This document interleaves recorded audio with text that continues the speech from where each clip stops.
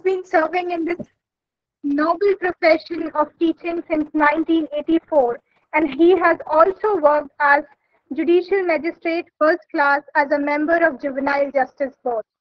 He has delivered more than 430 lectures in different institutes of national prestige and today he is with us to share his valuable thoughts on the topic approach towards understanding Constitution of India. We all are very delighted to have you with us, sir, and it's an honor for every one of us to listen it from you. Without further ado, I would request, sir, to initiate the session. Over to you, sir. Thank you.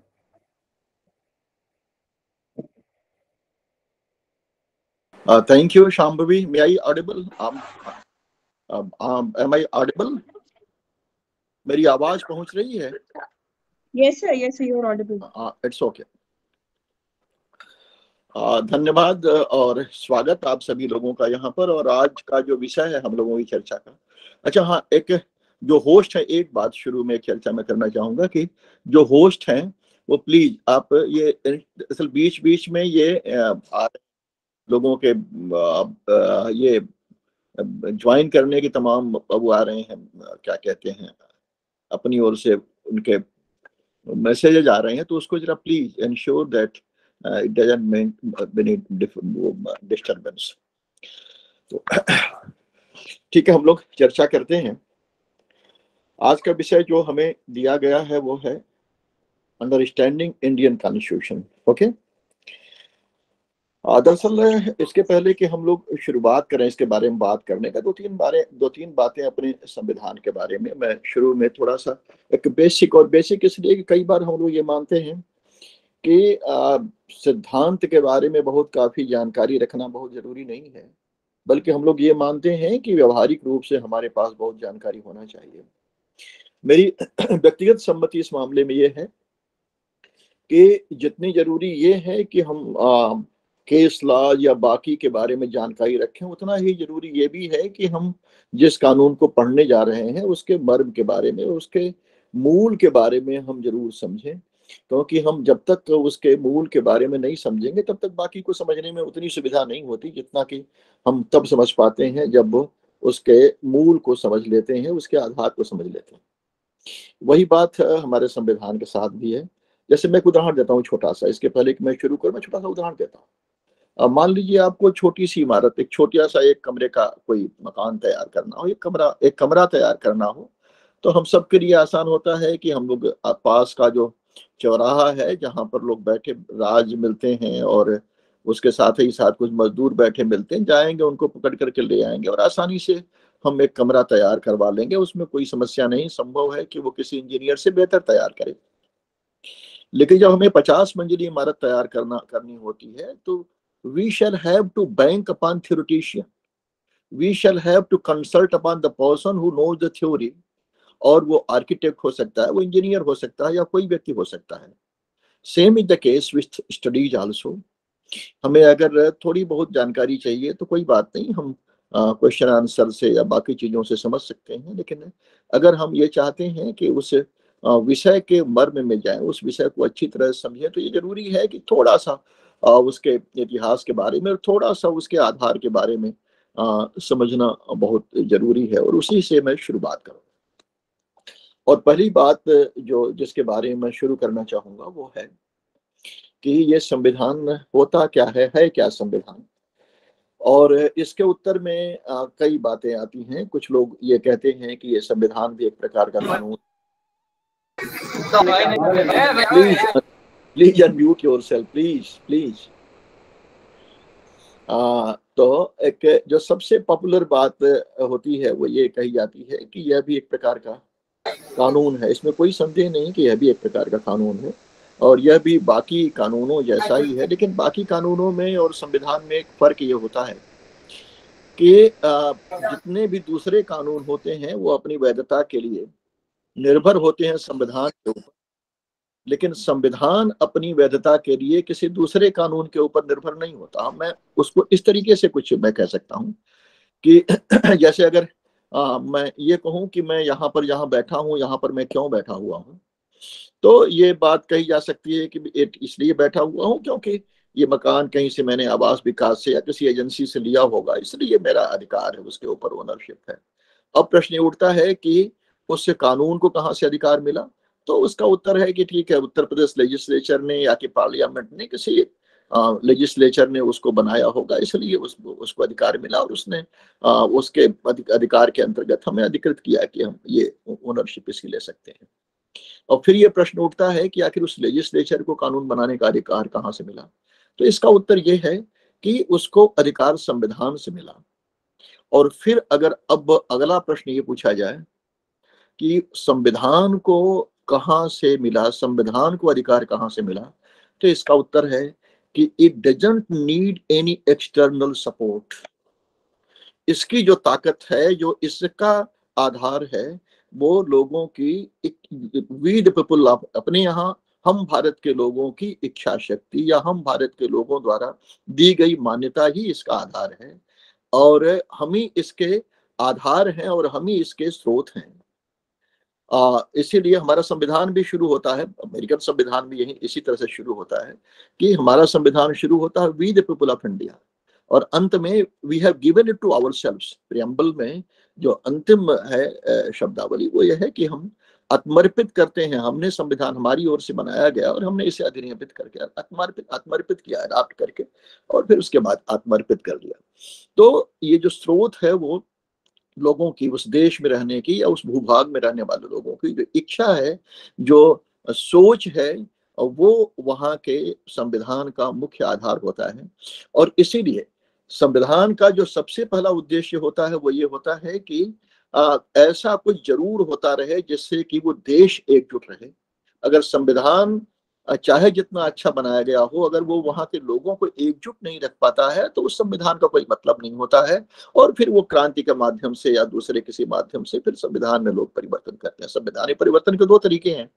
एक तो तरीका होता है जो संविधान में दिया हुआ होता है, जैसे हमारे संविधान में अनुच्छेद तीन सौ अड़सठ में या एक दो और भी छोटे छोटे जगहों पर है जो दिया गया, उसके मुताबिक या जहाँ पर संविधान कारगर नहीं हो पाता, जहाँ पर संविधान नहीं चल पाता, जहाँ पर संविधान को वहाँ के लोग स्वीकार नहीं कर पाते, वहाँ पर संविधान फिर क्रांति के माध्यम से बदलते हैं लोग।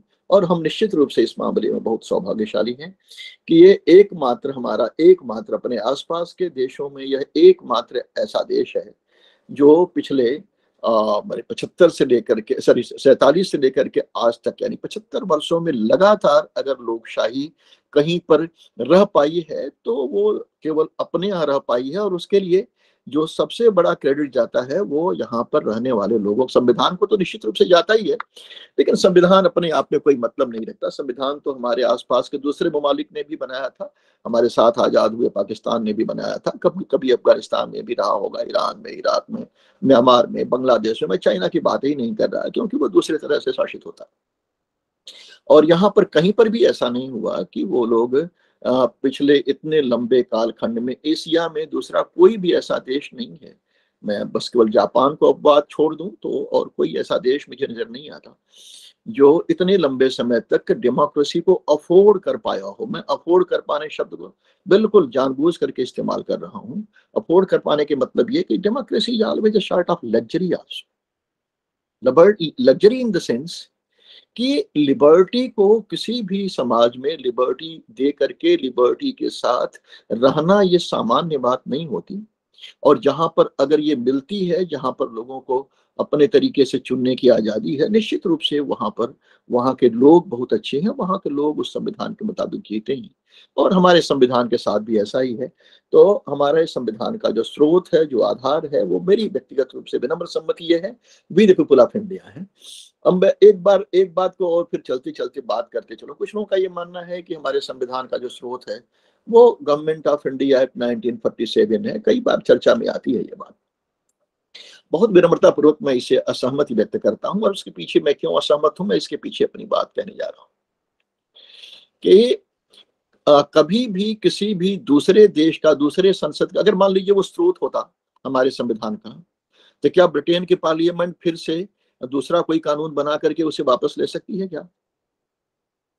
अगर किसी ने हमें दिया होता तो वापस उसे ले भी सकता था। अगर वो आ, ले नहीं सकता इसके मायने ये हुआ कि हम सेल्फ डिपेंडेंट लोग हमने खुद हम खुद मुख्तार लोग हमने खुद अपने आप अपने संविधान को तैयार किया हुआ है हमने खुद उस संविधान को अपनी ज़रूरत के मुताबिक, अपनी आकांक्षाओं के मुताबिक, अपने सपनों को पूरा करने के लिए तैयार किया हुआ है। और उस संविधान के स्रोत हम सभी लोग हैं, हम भारत के लोग हैं, भारत में रहने वाले लोग हैं, संविधान को बर्तन, बरतने वाले लोग हैं।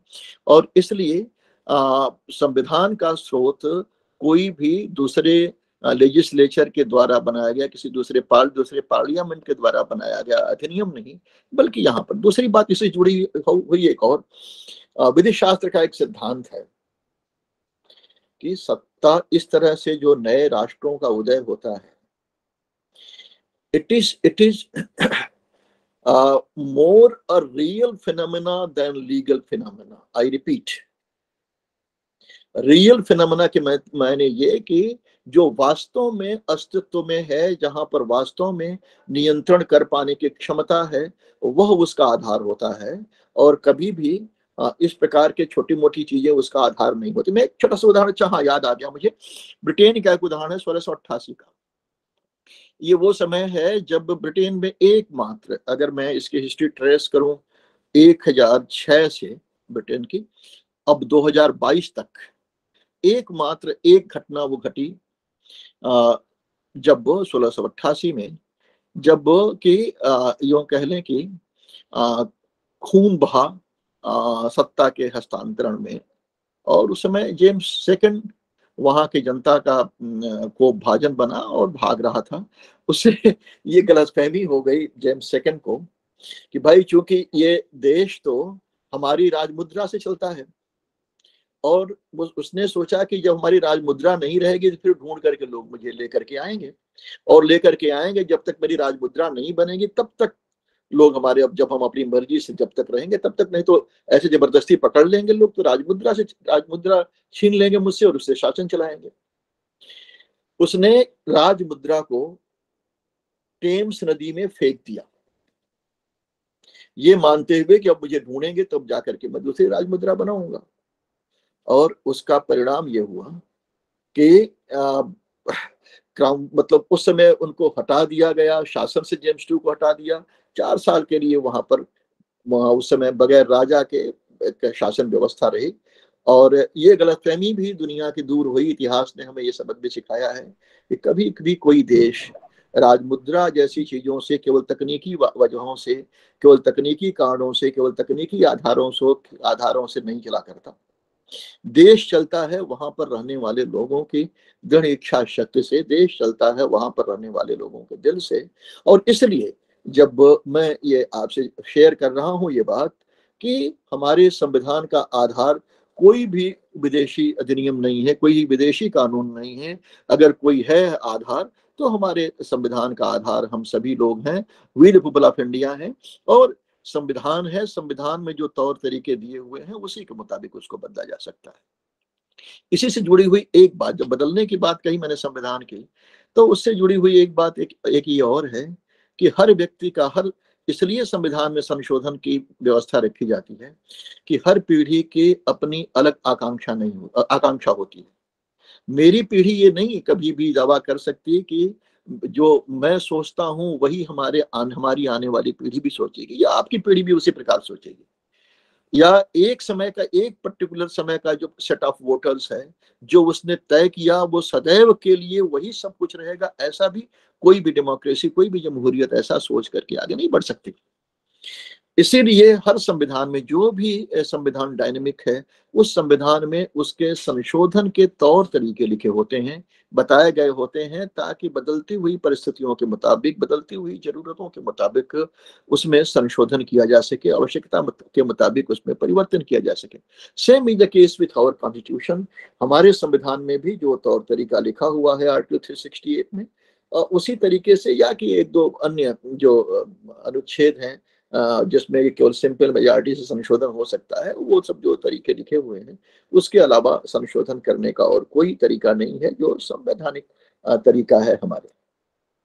अब इसी से जुड़ा हुआ एक, एक जुड़ा हुआ एक और प्रश्न आया जब मैं आपसे चर्चा कर रहा हूँ अपने संविधान को समझने के बारे में तो एक प्रश्न और मेरे जहन में आ रहा है कि आखिर संविधान को लिखने की आवश्यकता क्यों पड़ती है?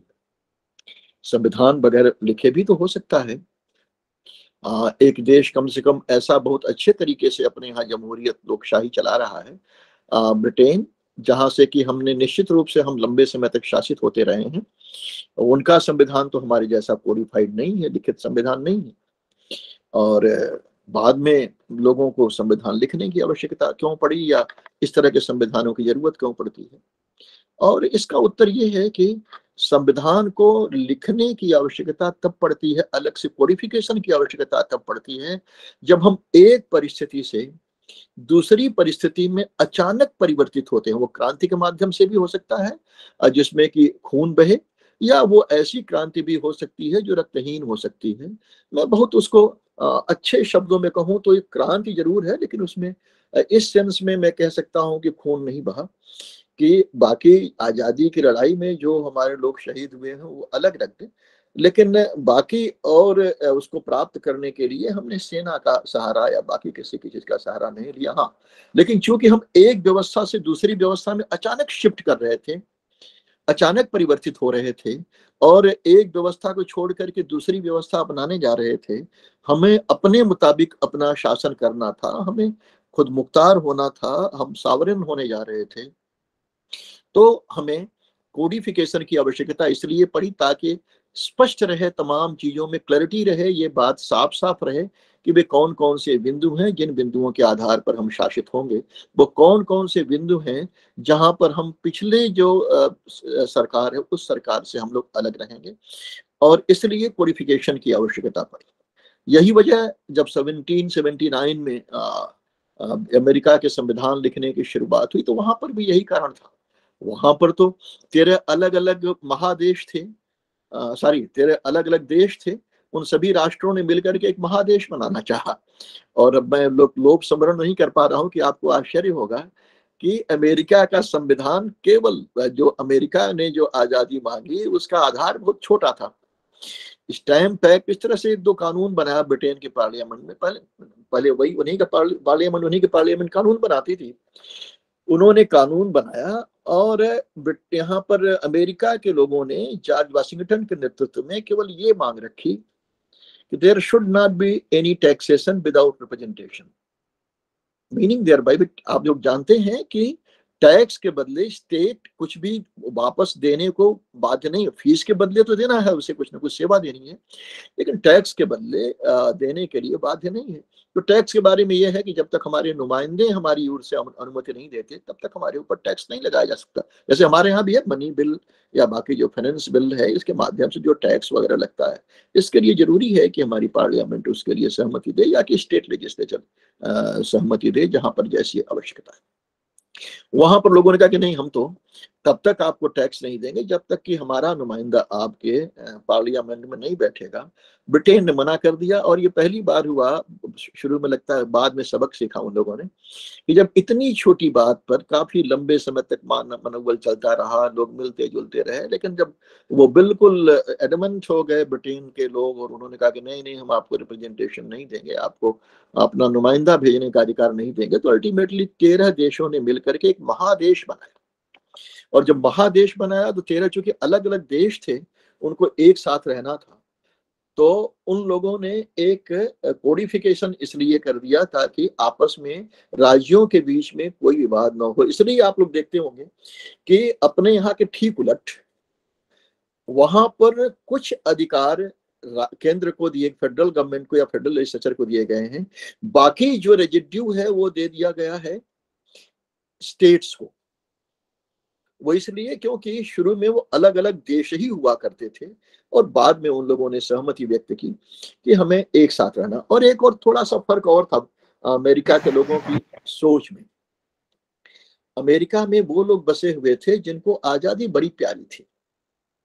अपने अपने देशों से वे लोग अपने विश्वास के आधार पर कोई व्यक्ति कैथोलिक क्रिश्चियनिटी के खिलाफ अगर विद्रोह कोई कर रहा था प्रोटेस्टेंट हो रहा था तो वो आ, अगर राजा ने उसके साथ दुर्व्यवहार या राजा ने उसके साथ कुछ एट्रोसिटीज की तो वो छोड़ के भागा कोई धर्म के आधार पर कोई वो अभिव्यक्ति के आधार पर कोई किसी आधार पर कोई किसी आधार पर।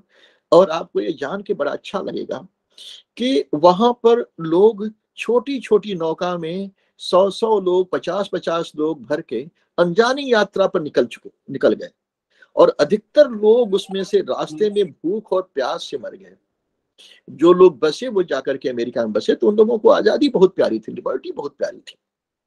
और इसलिए उनके हर जगह उनके संविधान में आ, हर हर जगह इस बात इम्फेसिस दी गई है कि हमारे लिए लिबर्टी सबसे अधिक महत्वपूर्ण है। और वहाँ पर चूँकि जब वो लोग गए तो वहाँ पर उन लोगों ने देखा कि पूरा जो निर्जन क्षेत्र पड़ा हुआ है अपने तरीके से उन्हें सब कुछ करने की आज़ादी थी तो अलग तरीके से उनका विकास हुआ और तेरह देशों ने मिलकर एक महादेश बनाया तो रेजिड्यूरी पावर दे दिया उन्हें हमारे यहाँ थो, थो, थोड़ा सा उनसे थोड़ा सा अलग था कि हम कल्चरली बेशक अच्छा समय का भी अंतर था सत्रह सौ उन्यासी में और जब हमारा संविधान तैयार हो रहा था उन्नीस में उस समय बीच में इतना लंबा वक्त वो गैप आ गया था कम्युनिकेशन के साधन बेहतर हो गए थे।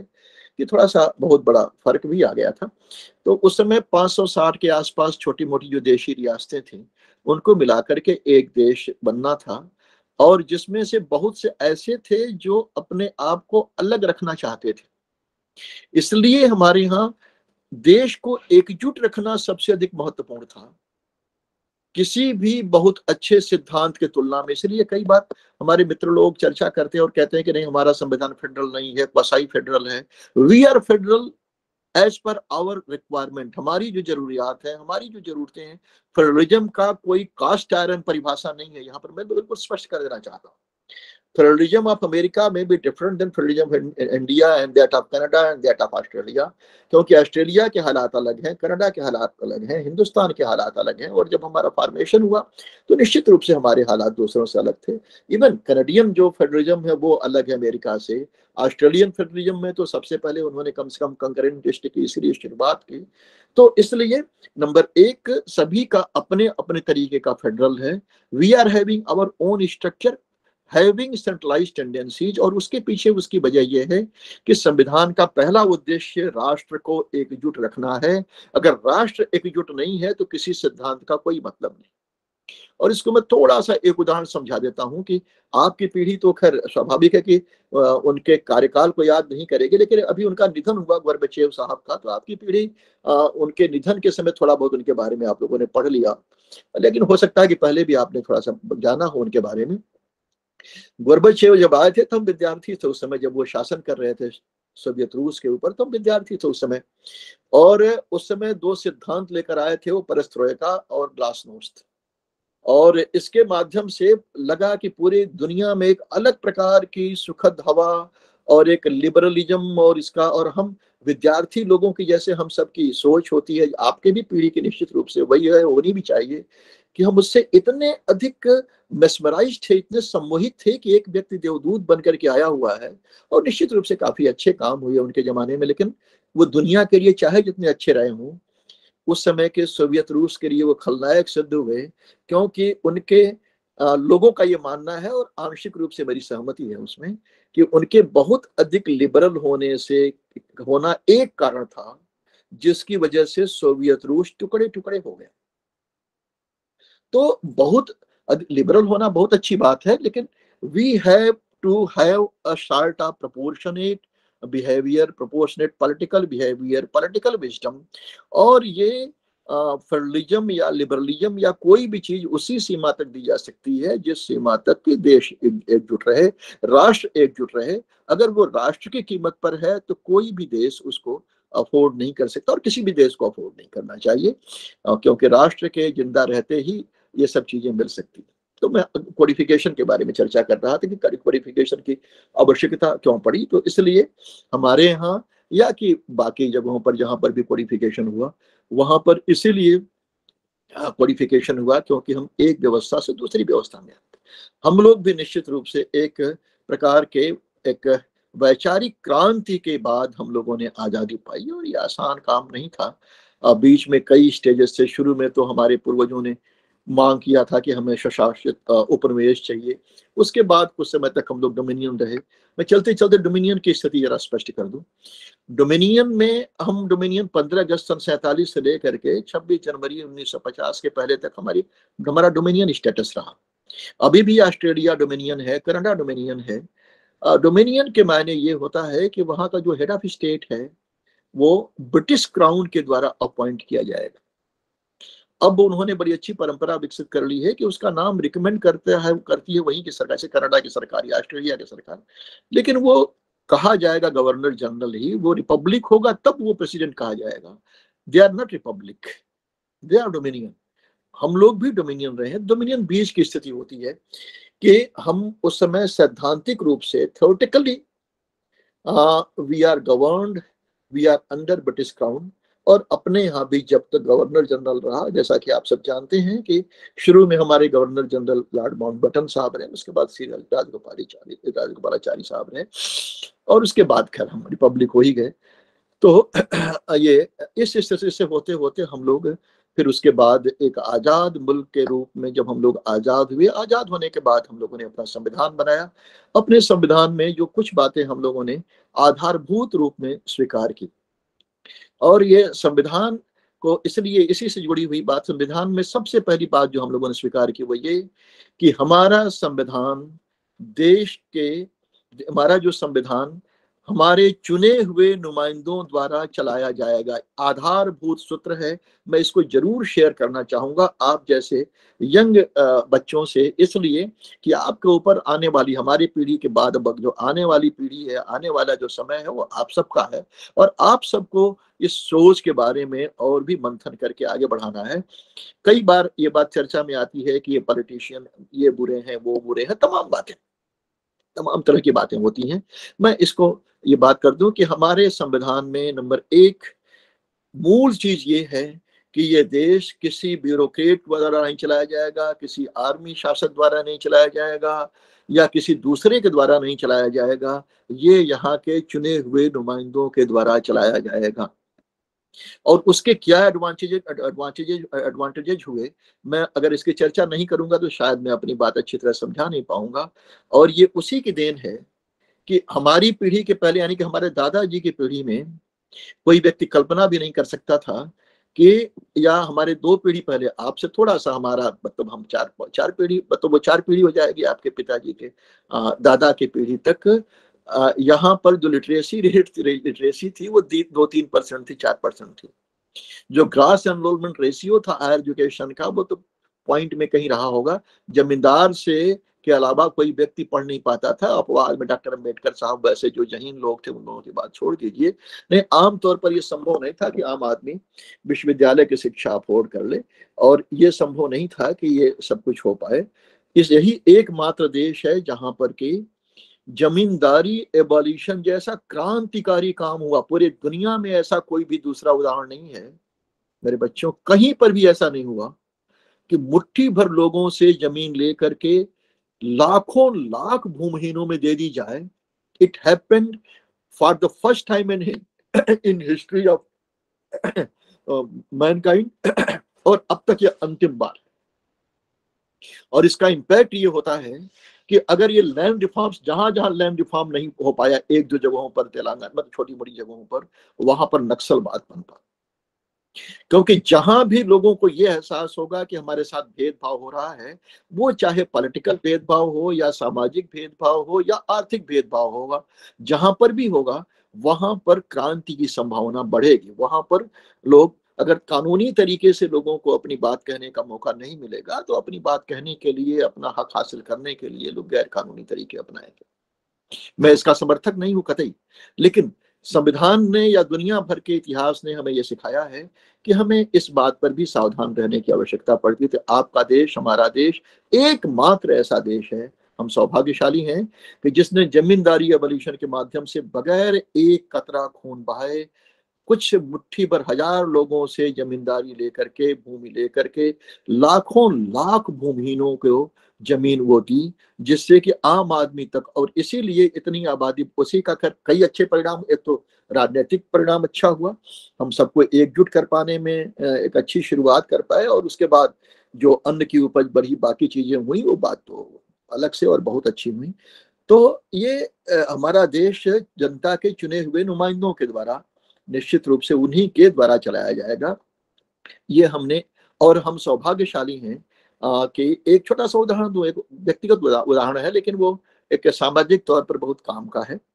आ, एक बार की बात है कि नो कॉन्फिडेंस को नो कॉन्फिडेंस मोशन चल रहा था और आ, उसका लाइव टेलीकास्ट हो रहा था। मेरा बेटा उसमें इंजीनियरिंग कर रहा था।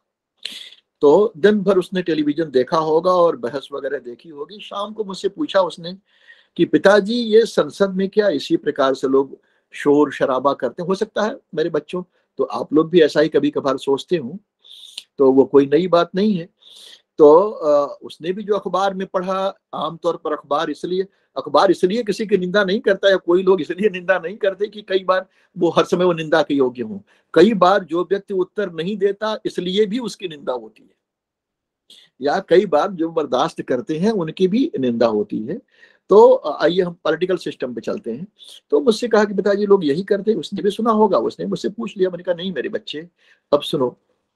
वह देश जो 560 देश जहाँ पर रहा रहे हो, उसको मिलकर के बना हो, वो देश जहाँ पर आम आदमी कई बार इस सीमा तक जाता हो कि अपने 4000 स्क्वायर मीटर का मकान हो, लेकिन चार इंच पब्लिक लैंड ज़रूर दबाने की सोच रखता हो, वो देश जहाँ पर कि थोड़ी सी ज़मीन के लिए भाई भाई का दुश्मन बन जाता हो, उस देश में जो कश्मीर से कन्याकुमारी तक फैला हुआ हो, वह देश जो म्यांमार से के आगे से लेकर के गुजरात तक फैला हुआ हो, इतने बड़े महादेश को, इतने बड़े इस भूभाग का कि राजशाही बादशाहत में यहाँ पर शब्द इस्तेमाल कर रहा हूँ, जो हो सकता है कि बहुत डेमोक्रेटिक नहीं, लेकिन यहाँ पर मैं अलग शब्दों अलग तरीके से मतलब अलग अर्थों में इस्तेमाल कर रहा हूँ।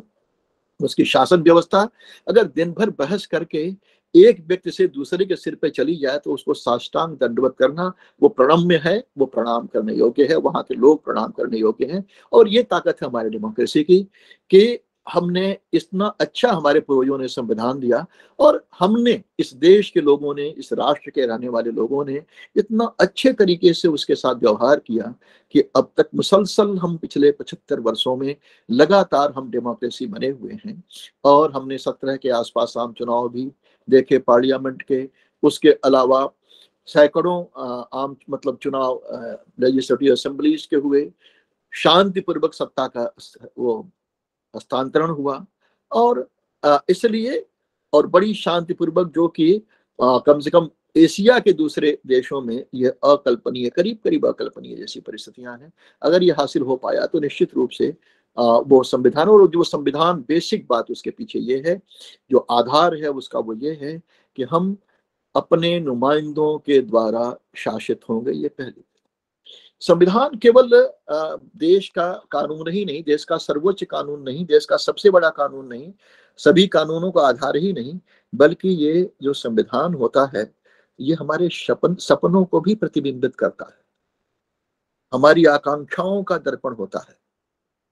हमारी सांस्कृतिक जो इच्छा होती है, जो सोच होती है उसमें, उसके हम सपने बुनते हैं अपने संविधान जो भी देश संविधान तैयार करता है, वो उन सपनों को तैयार करता है उस संविधान के माध्यम से और उस संविधान में उसको उल्लिखित करता है और ये सोच करके उल्लिखित करता है कि आने वाले समय में हमारे ये सपने साकार होंगे। आने वाले समय में और जो हमने सपने देखे थे अपने संविधान के माध्यम से और वो ये सपना देखा था कि हम सावरिन होंगे, सोशलिस्ट होंगे, सेकुलर होंगे, डेमोक्रेट होंगे, रिपब्लिक होंगे, सावरिन होंगे सोशलिस्ट होंगे मैं सोशलिस्ट शब्द को ज़रूर यहाँ पर थोड़ा सा चर्चा करना चाहूँगा। सोशलिज्म की पहली रिक्वायरमेंट है डेमोक्रेसी की भी पहली वो एक महत्वपूर्ण रिक्वायरमेंट है कि there should be decentralisation of capital ये बहुत महत्वपूर्ण है कई बार आ, समझ में मतलब आमतौर पर लोग हो सकता है चर्चा में न लाते हूँ। लेकिन इस बात को मार्क्स ने अपने तरीके से समझा। मार्क्स को हम लोगों ने बहुत प्यार से समझा अलग तरीके से समझा और हमने अपने डायरेक्टिव प्रिंसिपल्स में ये लिखा कि पूंजी का इस प्रकार से बंटवारा होगा कि वो मुट्ठी भर लोगों के हाथ में केंद्रित नहीं हो पाए। और इसको निश्चित रूप से वो जमींदारी एबोलिशन एबोलिशन हो लैंड सीलिंग एक्ट हो, या जिसके पास अधिक पैसे हैं, उनके ऊपर टैक्स लगा करके हो, बाकी इन तौर तरीकों से जिनके पास एक निश्चित सीमा से ज़्यादा है, उसको स्टेट ने वो किसी भी लेवल पर लेकर के बाकी लोगों के बीच में, या जितनी भी ये सब योजनाएँ चलती हैं सब्सिडी की या बाकी बाकी जो योजनाएँ चलती हैं, उन योजनाओं के माध्यम से जो आम आदमी को सुविधा मिलती है, वो भी इसी सोशलिस्ट माइंडसेट का या जो हमें मेरे जैसे लोगों को जो पढ़ने में जो हमें सब्सिडी मिली, निश्चित रूप से मैं इस बात को ज़रूर आपके साथ शेयर करना चाहूँगा कि अगर ये अच्छी व्यवस्था न होती तो मेरे जैसे सामान्य परिवार का व्यक्ति काशी हिंदू विश्वविद्यालय से एल नहीं कर पाया होता। जो फ़ीस की उस समय अगर हमारे पढ़ाने की वास्तविक कीमत ली जाती तो उस समय भी जो मुझे किसी ने बताया था कि जो हमारी फ़ीस से पैसा होता था, वहाँ से उतने पैसे से वहाँ के बिजली के खर्चे पूरे नहीं होते थे। तो जो पैसा हमारी पढ़ाई में लगा, वो आम जनता ने कंट्रीब्यूट किया, वो बस्तर में रहने वाले आदिवासी ने भी कंट्रीब्यूट किया और वो ला करके कहीं पर एजुकेशनल सिस्टम में लगा, जिससे कि हम जैसे लोग पढ़ लिख करके, आप जैसे लोग पढ़ लिख करके तैयार हो रहे हैं। तो ये ये भी कहीं ना कहीं सोशलिज्म के पूरे एक पूरी जो बेहतर व्यवस्था, या कि अभी कोविड के दौरान अगर स्टेट ने किसी को निःशुल्क राशन मतलब बगैर किसी उसके राशन दिया तो निश्चित रूप से ये पवित्र मंशा इसके पीछे यही है कि जो लोग नहीं अफोर्ड कर सकते हैं वो भूख के भूख से नहीं उनका उनकी जान जाए और उनको कम से कम रोजी रोटी की व्यवस्था हो। ये बृहत मतलब व्यापक व्यापक अर्थों में बल्कि एक दिन हमारे एक बैंकर मित्र बड़ी इंटरेस्टिंग बात उन्होंने कही वो बड़े नाराज़ थे इस बात से कि ये सरकार जो है आ, ये सब्सिडी तो दे देती है लेकिन बाद में वसूली नहीं हो पाती और एक वास्तविक कमिटेड बैंकर के रूप में मुझसे शिकायत कर रहे थे कि सरकारें बहुत खराब हैं और इन सरकारों को इतना नहीं करना चाहिए। तो कितनी सब्सिडी मिले ये तो अलग बहस का विषय हो सकता है लेकिन सब्सिडी मिले, वो क्यों मिले, मैं उस पर चर्चा ज़रूर, मैंने उनसे की और वही बात मैं आपसे कहता हूँ कि मान लीजिए एक व्यक्ति को दस हज़ार लोन अगर माफ़ कर दिया स्टेट ने, और दस हज़ार लोन माफ़ करके एक पोटेंशियल विद्रोही को विद्रोही होने से बचा लिया it is a good bargain it is not a bad bargain वो व्यक्ति अगर वो भूखों मरता, वो व्यक्ति अगर वो भूखा रहता तो जिसके पास सब कुछ है, वो उसके लिए सुरक्षित रहना मुश्किल। अगर समाज में इस तरह की डिस्पेरिटी होगी तो जिनके पास है, वो लंबे समय तक अपने आप को सुरक्षित नहीं रख सकते। और इसलिए भी ये सामाजिक व्यवस्था का बने रहना, सामाजिक व्यवस्था को लाका लागू होना बहुत ज़रूरी है। हालाँकि बाद में, ये शब्द बाद में जोड़ा गया लेकिन इसका मतलब ये नहीं कि ये भाव पहले से नहीं थे। ये भाव तो हमारे संविधान में डायरेक्टिव प्रिंसिपल्स में जितने भी डायरेक्टिव प्रिंसिपल्स हैं, तकरीबन सभी दो, तीन, चार को मैं छोड़ दूँ अगर हाँ तीन, चार को छोड़ दूँ, तकरीबन सभी के सभी इसी सोशलिस्ट या सोशलिज्म जो सामाजिक समाज में जहाँ तक गैर बराबरी को समाप्त करने की कोशिश है, उसी पर आधारित है। और इसलिए हमने ये सपना देखा था कि आने वाले वक्त में एक ऐसी व्यवस्था देंगे जो सोशलिस्ट या ऐसी व्यवस्था देंगे जिसमें लोगों को इक्वलिटी होगी, या लोगों को जस्टिस मिलेगा। जस्टिस तीनों प्रकार का पॉलिटिकल जस्टिस और इकोनॉमिक जस्टिस और सोशल जस्टिस तीनों प्रकार का। इकोनॉमिक जस्टिस फिर आ गया वही सोशलिज्म पे। Political justice right to vote सबको मिल गया बराबर। समान रूप से, ये तो एक जैसी बात हो गई, सभी को मिल गया। लेकिन पॉलिटिकल जस्टिस के साथ साथ जो इकोनॉमिक जस्टिस है, वो तब मिल पाता है जब यथासंभव कोशिश करके जिसके पास कुछ भी नहीं है, उसको भी ऐसी स्थिति में स्टेट लाए कि वो बाकी लोगों के बराबर आगे बढ़ सकने की स्थिति में हो जाए। तो वो अपने, अब तो वो निश्चित रूप से उन परिस्थितियों में उसे ये कहा जा सकता है कि वो आ, हम उस तरफ़ निश्चित रूप से बढ़ रहे हैं या कि उस तरफ़ हमारी सोच है। आ, उस तरफ़ हम आगे बढ़ रहे हैं। तो हमने ये सपना देखा था कि हमारी व्यवस्था ऐसी हो जिसमें कि हम एक सामाजिक या सोशलिस्टिक या समाजवादी व्यवस्था अपने यहाँ रखेंगे। रिपब्लिक स्पष्ट है उसमें कोई दोरा नहीं जो सेकुलरिज्म है उसके बारे में मैं ज़्यादा चर्चा इसलिए कि काफ़ी आप सब उसके बारे में सभी लोग वाकिफ हैं। हाँ ईमानदारी से हमारा जो संविधान है अनुच्छेद पच्चीस छब्बीस सत्ताईस अट्ठाईस इसमें एक बात की और ज़रूर मैं इशारा करना चाहूँगा संविधान के विद्यार्थी के रूप में कि ये एकमात्र fundamental right to religion article 25 एकमात्र ऐसा अनुच्छेद है जो शुरू भी होता है रिस्ट्रिक्शन से और अंत भी उसका रिस्ट्रिक्शन से होता है। Subject to public order morality health and other other provision of this part of the constitution शुरुआत यहाँ से होती है। छोटी छोटी बातों के अधीन रहते हुए। नैतिकता सब्जेक्ट टू पब्लिक हेल्थ तीन शब्द मैंने अभी कहे, मैं अभी दिमाग से निकल गया। और स्वास्थ्य और नैतिकता, इनके और पब्लिक ऑर्डर लोक व्यवस्था के अधीन जो हमें राइट टू रिलीजन है फंडामेंटल राइट टू रिलीजन है, वो लोक मतलब पब्लिक ऑर्डर के इवन छोटी सी चीज़ के भी अधीन है। स्वास्थ्य भी समझौता, उस पर भी समझौता नहीं किया जा सकता। इवन सो मच सो की नैतिकता और this part of the constitution यानी अगर there is any type of contradiction between any other fundamental right and that of right to religion then in that case other fundamental right will prevail over right to religion article 25 के जो शुरुआती शब्द है और उसके बाद दो अंत में जो क्लास दिए गए हैं, उन आधारों पर भी बंदिशें लगाई जा सकती हैं रिस्ट्रिक्शंस लगाए जा सकते हैं। और अगली बात जो इसमें every person shall have equal right to profess practice and propagate equality it is extension of right to equality मतलब मेरे विनम्र सम्मति में ये समान, समता के अधिकार से ही मिलता जुलता है। अगर मुझे ड्राफ्ट करना होता तो मैं आर्टिकल एटीन के बाद ट्वेंटी फाइव वाला प्रोविज़न रखता। क्योंकि ये भी एक्सटेंशन समानता के अधिकार का एक्सटेंशन है क्योंकि हर व्यक्ति को समान रूप से अधिकार मिला हुआ है किसी एक व्यक्ति को नहीं मिला हुआ है। तो हमारे संविधान निर्माताओं ने ये मंशा साफ़ कर दी थी और इसी आधार पर हमने ये आ, सोचा था ये हमने तय किया था कि आने वाले वक्त में हमारा संविधान किस तरीके से आगे बढ़ेगा और किस तरीके से हम आगे लेकर के चलेंगे। अगली बात जो हमारे संविधान को के लिए या संविधान से जुड़ी हुई हो, ये कि हम equality of status and opportunity में विश्वास रखते हैं। कई बार जो इक्वलिटी की मैकेनिकल डेफिनेशन है इक्वलिटी के मैकेनिकल डेफिनेशन में आ, ये बात कोई कह सकता है कि भाई अगर इक्वलिटी है तो इक्वलिटी के माने ये कि आ, सभी लोगों को एक जैसी परिस्थितियों में कंपटीशन में बाकी जगहों पर परीक्षा देने का बाकी कुछ करने का अधिकार होना चाहिए। संविधान के विद्यार्थी के रूप में मेरा ये मानना है कि नहीं? अगर हम वो जो हंड्रेड मीटर रेस का कौन सा हंड्रेड मीटर रेस वाला बोल्ट अगर उसका मुकाबला अगर किसी सामान्य व्यक्ति से करवा दिया जाए तो लड़ाई शुरू होने से पहले ही समाप्त हो जाती है वो तो equality means likes must be treated alike और वो लाइक्स कैसे होंगे कौन होंगे ये संविधान और पॉलिटिकल सिस्टम इसमें मतभेद या इसमें बहस हो सकती है कि किस सीमा तक हो क्या हो इसमें आ, वो अलग की बात है और उस पर आज समय नहीं है कि हम लोग चर्चा कर सकें। लेकिन इसमें भी जो पहली बात बेसिक बात है जो हमारा सपना जो हमारे संविधान निर्माताओं का सपना या हमारे संविधान का सपना वो ये कि जो ऐतिहासिक कारणों से जो गैर बराबर हैं, उनको लेवल प्लेइंग फ़ील्ड देने के लिए निश्चित रूप से कुछ ऐसी व्यवस्था ज़रूर होनी चाहिए।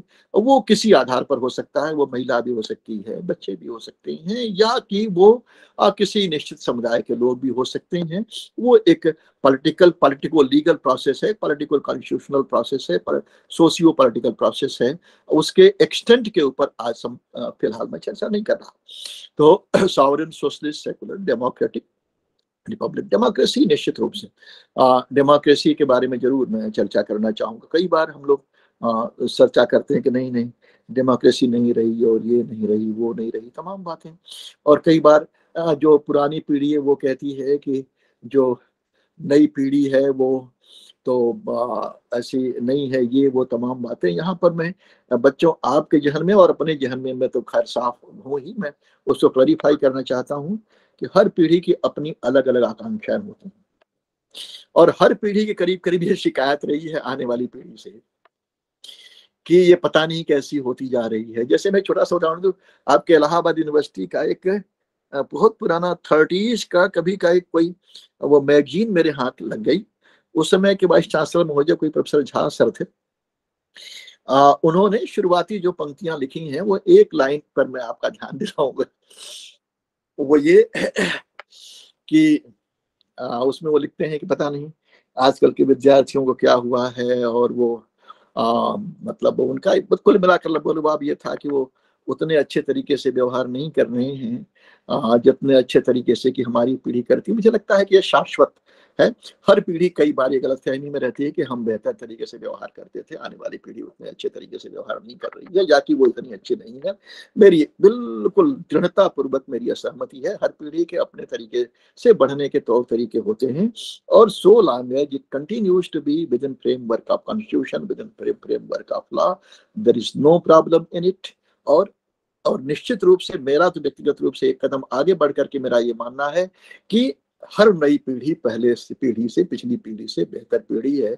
और इसलिए, और वो निश्चित रूप से अगर किसी की भूमिका है उसमें तो यहाँ इस देश के लोगों की भूमिका है। और जो उसका बेसिस जो उसका आधार हमारे संविधान के रूप में तैयार किया गया, उसके लिए जो क्रेडिट जाती है, वो हमारे संविधान को भी जाती है।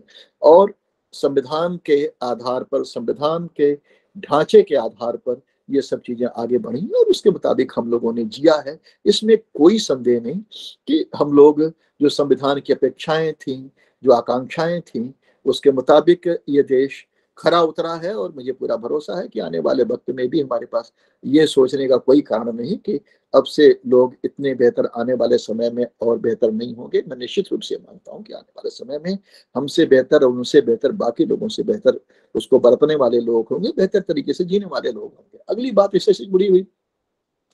संविधान को समझ के लिए जो हम लोग बेसिक चीज़ों की आ, कई बार चर्चा करते हैं भैया कि कई बार ये बात उठती है कि आखिर ये अगर संविधान खुद ही अपने आप में सबसे बड़ा स्रोत है। तो फिर संविधान को अगर चुनौती देनी हो तो कहाँ चुनौती दी जा सकती है? संविधान मतलब with respect to what supreme court opined in 1973 case and that is of Kesavananda भारतीज case उससे वो, ठीक है I have respect for supreme court and its judgement and all these things मेरी व्यक्तिगत कानून के विद्यार्थी क्रम मेरी सम्मति ये है कि संविधान को चुनौती तीन के तौर तरीकों से ही दी जा सकती है और अनुच्छेद तीन के मुताबिक आ, अगर कोई संशोधन हो रहा है उन प्रोविजंस के मुताबिक अगर कोई संशोधन हो रहा है तो वो संशोधन वो संशोधन बिल्कुल विधिपूर्ण संशोधन है और संविधान के दायरे में है। और यहाँ पर एक बात विनम्रता पूर्वक आपसे ज़रूर शेयर करना चाहूँ। विनम्रता पूर्वक यहाँ पर सुप्रीम कोर्ट के में कह रहा हूँ, वो ये कि किसी भी देश की न्यायपालिका कभी भी किसी देश के संविधान की रक्षा नहीं कर सकती। आई रिपीट ये सबसे पहले बेसिक फीचर की थ्योरी दी गई। फजलरुल कादर चौधरी बनाम पाकिस्तान। उन्नीस का केस है पाकिस्तान का। और उसमें कहा गया कि you can not change basic structure of the constitution और उसके बाद जो पाकिस्तान, अड़सठ के बाद जो पाकिस्तान की स्थिति हुई, या की है, वो ना आपसे छिपी है, ना मुझसे छिपी है। और इसी तरह की बात एक बार कभी बांग्लादेश में भी हुई, खैर, उसके बाद तो कम से कम एक बार कू हो ही गया वहाँ पे। दे कुडंट डू एनीथिंग तो देश जो बस केस का नाम एक बार बता दीजिए। केस का नाम sir. Fazlul Quader Chowdhury F Q Chowdhury versus Pakistan. ये 1968 या 67 का केस है बेटा। हो सकता है कि मैं उसको कहीं देख लूँ। और ऐसा ही एक बार आ, मामला आया था अमेरिका में। कॉक्स में एग्जैक्ट केस का नाम इस समय भूल रहा हूँ। कॉक्स वर्सेस यूएस कुछ समथिंग लाइक दैट जिसमें कि एक बार केवल एक बात खैर बाद में तो वो सेटल लॉ हो गया उनके यहाँ।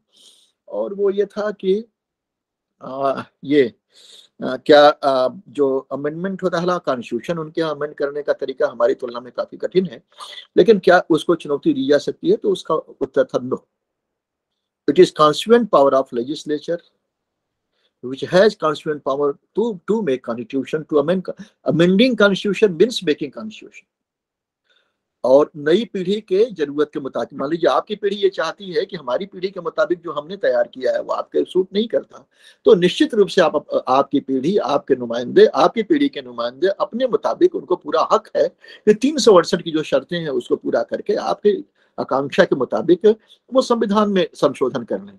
क्योंकि उस आकांक्षा को बाँध के रखना ये विजडम नहीं है। जिन लोगों ने भी किसी व्यवस्था को बाँध के रखा, जिन लोगों ने बेहतर करने की संभावना को बिल्कुल नकार दिया, वो लोग क्रांति की संभावना को आमंत्रित करते हैं। और जुडिशरी की नाम आई, विद रिस्पेक्ट फॉर जुडिशरी, में एक बात और चर्चा कर लू।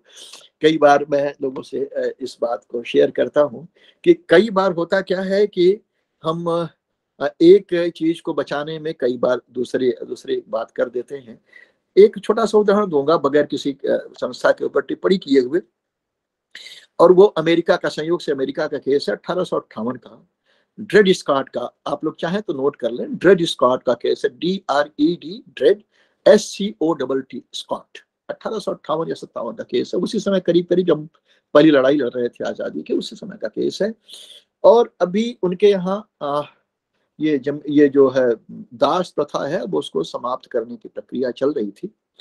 आ, उस समय डेड स्कॉट नाम का एक दास था वो एक दूसरे राज्य में गया जहाँ पर की दास प्रथा खत्म हो गई थी और वहाँ से फिर लौट कर आया तो उसने कहा कि चूँकि हम वहाँ चले गए तो वहाँ की धरती पर चूँकि कोई दास नहीं रहता दास मतलब दास प्रथा समाप्त हो गई तो मैं अब फ्री सिटीजन हो गया और हमें पढ़ने का अधिकार चाहिए। अब वो गया, अपना एडमिशन लेने। एडमिशन लेने जब गया तो मना कर दिया गया कि नहीं नहीं, तुम तो दास हो, तुम्हें पढ़ने का अधिकार नहीं है। हाई कोर्ट गया हाई कोर्ट ने मना कर दिया। फिर सुप्रीम कोर्ट गया। सुप्रीम कोर्ट में चीफ जस्टिस टेनी वहाँ के चीफ जस्टिस साहब थे उस समय। और और चीफ जज मतलब सुप्रीम कोर्ट ने वहाँ पर उसने भी कह दिया कि नहीं नहीं you can not be given permission to मतलब इक्वल परमिशन या इक्वल इक्वल सिटीजनशिप नहीं। जैसे हालाँकि उन्होंने आधार दूसरा लिया कि आप चूँकि उस राज्य में चले गए तो आप अभी दास रह गए। लेकिन इसका खराब प्रभाव ये पड़ा कि पूरा अमेर, पूरे अमेरिका में अगर युद्ध शुरू हो गया, जो अठारह में अब्राहम लिंकन साहब की बलि लेकर समाप्त हुई। तो कई बार जब हम समय के मुताबिक नहीं चलते, चाहे वो लेजिस्लेचर हो, चाहे जुडिशियरी हो, चाहे कोई दूसरा इदारा हो तो इस प्रकार की हम क्रांतियों को, इस प्रकार की संभावनाओं को हम आमंत्रित करते हैं, बाकायदा इनको हम जन्म देते हैं, अगर कानूनी तौर तरीका हम उसके लिए नहीं छोड़ते हैं। और अपने यहाँ हम निश्चित रूप से सौभाग्यशाली हैं कि हमने तीन सौ अड़सठ के रूप में जहाँ व्यवस्था की है, वहाँ तीन सौ अड़सठ में दो प्रकार की व्यवस्था की है। कि कुछ में आप ऑफ़ द स्टेट्स का रेटिफिकेशन ज़रूरी है, बाकी रेटिफिकेशन आवश्यक नहीं है। कुछ तो ऐसे अनुच्छेद है जहाँ पर कि सिंपल मेजॉरिटी से संशोधन हो सकता है। तो संविधान को हमने इस तरीके से बुना है हमारे पूर्वजों ने और इस तरीके से उसका ढांचा तैयार किया हुआ है कि मैं बिल्कुल सिंसियरिटी के साथ आपसे ये बात शेयर करूँगा। एक सिंसियर विद्यार्थी के रूप में संविधान के हाँ पिछले कम से कम पच्चीस और बाईस छियालीस, सैतालीस साल का जो संविधान के विद्यार्थी के रूप में मेरा अनुभव है, उसके मुताबिक ये कि हमारा संविधान जितना अच्छा बनाया गया है, उतने ही अच्छे तरीके से यहाँ के लोगों ने उसे बरता है। उतने ही अच्छे तरीके से यहाँ के लोगों ने उस संविधान के मुताबिक अपने आप को जिया है। और जस्टिस हैंड एक बहुत अच्छे न्यायाधीश हुए अमेरिका में, जिनकी माइनॉरिटी ओपिनियन, कई बार मेजॉरिटी ओपिनियन से ज़्यादा महत्व रखती थी। जैसे हमारे यहाँ जस्टिस मैथ्यू साहब हुए सुप्रीम कोर्ट में जज आ, उनकी माइनॉरिटी ओपिनियन भी कभी भी कम महत्वपूर्ण करके नहीं आती गई तो आ, वो कहा करते थे कि liberty always lie in the heart of people if it dies there no constitution and no judiciary can save it संविधान राष्ट्र वहाँ के रहने वाले लोगों के मुंडों की सिरों की जस्टिस साहब का नाम बताइए justice. Justice learned hand. Please sir repeat करिए दोबारा। बेटा H A N D hand और उसके पहले learn L E A R N E D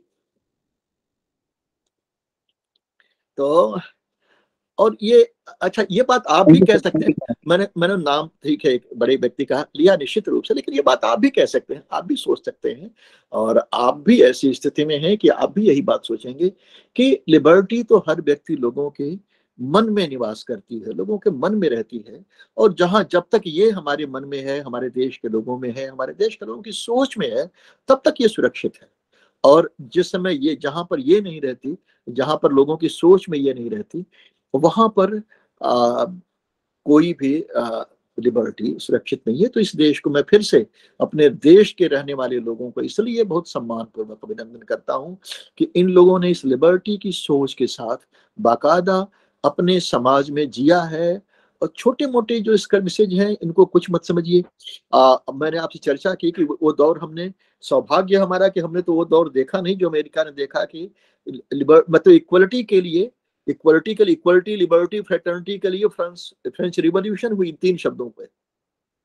और उसी को हासिल करने के लिए गृहयुद्ध छिड़ा अमेरिका में we are fortunate enough to have such learned constitution makers at the same time इतने अच्छे यहाँ के नागरिक जिन्होंने इस संविधान को उसके मर्म के मुताबिक, इसकी सोच के मुताबिक जिया और हमें वो दुर्दिन नहीं देखना पड़ा, जो अमेरिका को देखना पड़ा है जिससे जिससे अमेरिका गुजरा है, अमेरिका ने लिबर, वो देख करके। और अब इसलिए हमारे संविधान को बनाते समय बड़ी सावधानी बरती गई।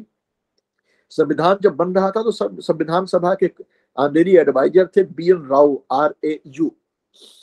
Basically he was an I S I C S officer. वो फेडरल कोर्ट की जजशिप वगैरह उनको ऑफ़र हुई। कुछ समय तक वो प्राइम मिनिस्टर रहे डॉक्टर हरी सिंह साहब के वहाँ सिंह साहब के पिताजी के, वहाँ जम्मू कश्मीर में। और कभी अगर मिले तो बी एन राव साहब के मतलब अच्छी मतलब मेरी तो बहुत बहुत बहुत ऊँची सोच है। जैसे मैं एक उदाहरण दूँ आर्टिकल 21 जब ड्राफ्ट हो रहा था, मौजूदा आर्टिकल 21 उस समय आर्टिकल 21 के रूप में नहीं था जब उस समय ड्राफ्ट हो रहा था तो ये बी एन राव साहब गए फ्रैंकफर्टर साहब उसमें चीफ जस्टिस थे अमेरिका के। उनके पास गए और उन्होंने कहा कि whether we can adopt due process of law और नॉट तो उन्होंने कहा कि you are nation democracy and the country in which you are living right now उन्होंने कहा कि हमारा अनुभव ड्यू प्रोसेस ऑफ़ लॉ के साथ इसलिए बहुत सुखद नहीं रहा है कि शुरू में इसने बहुत परेशानियाँ हमारे लिए की हैं। और लोगों ने कई बार ब्लड सैंपल देने से मना इसलिए कर दिया कि there should be due process of law और ये सब बातें तमाम रही हैं तो बेहतर ये है कि आप शब्द due process of law adopt ना करें। उन्होंने कहा, फिर क्या अडाप्ट किया जाए? उन्होंने कहा कि, ठीक है तो आकर के यहाँ पर काफ़ी बहस हुई संविधान सभा में ड्यू प्रोसेस ऑफ़ लॉ तो आपने ड्रॉप कर दिया जो उनका फोर्थ और फिफ्थ और फिफ्टीन फोर्टीन अमेंडमेंट में है। हमने फिर यहाँ स्वीकार किया, जो जापानीज मॉडल था तो सेव एज ये प्रेस्क्राइब्ड बाय लॉ तो except according to procedure established पहले हमने वहाँ पर प्रोसीजर एस्टेब्लिश्ड बाय लॉ लिख दिया लिख दिया तो एक एक शब्द पे, एक एक कामा पे, एक एक फुल स्टॉप पे, बाकायदा उसके मर्म के साथ जी करके हमारे संविधान निर्माताओं ने उसे तैयार किया और जिसको उसके बाद के लोगों ने, आपकी पीढ़ी ने बाकायदा उसी के रूप में अंगीकृत किया और उसके मुताबिक जी रहे हैं और इसलिए ये इतने अच्छे तरीके से चल रहा है और मुझे उम्मीद है कि आने वाले समय में भी लगता है कि समय जो मुझे अलाट किया गया था उससे ज़्यादा हो गया लेकिन मुझे पता नहीं चला आप लोगों से बात करते हुए कि कितना समय बीत गया। कि फिर मैं फ़िलहाल इसे वाइंड अप इसलिए करता हूँ कि केवल तीन मिनट समय रह गया है छह बजने में। और मेरा आभार आप सभी को मेरे बहुत प्रिय बच्चों कि आप सबसे हमारी चर्चा हुई संविधान जैसे गुण विषय पे। हाँ, आगे भी जब कभी आवश्यकता पड़ेगी तो मैं हर वक्त अवेलेबल रहूँगा। धन्यवाद बहुत बहुत धन्यवाद आपसे बहुत बहुत thank you sir thank you sir thank you thank you very much Thank you, sir. Thank you बेटा thank you sir Thank you, thank sir. You thank you बेटा thank you thank you thank you to all It was a pleasure to listen you. Thank you. Thank you sir thank you बेटे अगर इसकी recording उपलब्ध हो आप सबके पास तो मेरे पास भेज दीजिएगा प्लीज़